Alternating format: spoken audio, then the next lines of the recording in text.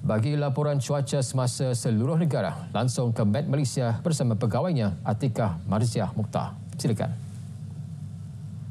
Assalamualaikum dan salam Malaysia Madani. Paparan imej satelit semasa kini menunjukkan keadaan cuaca yang sedikit berawan terutamanya melibatkan bahagian utara dan juga timur semenanjung serta sedikit melibatkan bahagian selatan semenanjung yang menunjukkan gambaran keadaan cuaca yang lembap yang telah berlaku pada ketika ini.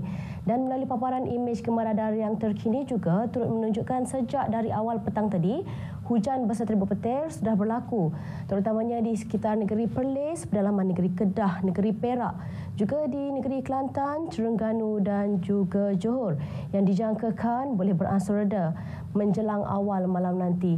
Walau bagaimanapun, Met Malaysia masih lagi menjangkakan keadaan cuaca lembap ah, terutamanya yang berlaku melibatkan negeri Kelantan, Terengganu dan juga utara negeri Pahang masih lagi boleh berterusan sebelum ianya beransur reda menjelang lewat malam nanti.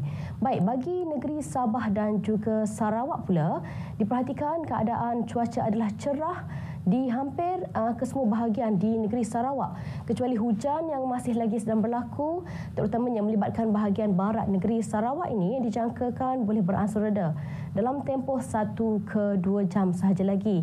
Bagi negeri Sabah pula keadaan hujan lebat beserta petir turut sedang berlaku di sekitar bahagian Kudat, Pantai Barat, Pedalaman dan juga Tawau. Dan keadaan cuaca lembap ini dijangkakan boleh berterusan sebelum ianya beransur reda menjelang awal malam nanti.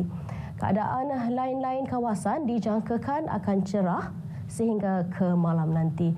Baik, ini sahaja laporan cuaca yang dapat saya kongsikan pada petang ini. Untuk mendapatkan maklumat cuaca yang lebih terperinci, anda boleh layari laman sesawang kami di www.met.gov.my atau menerusi laman sosial media kami seperti yang telah tertera di sini.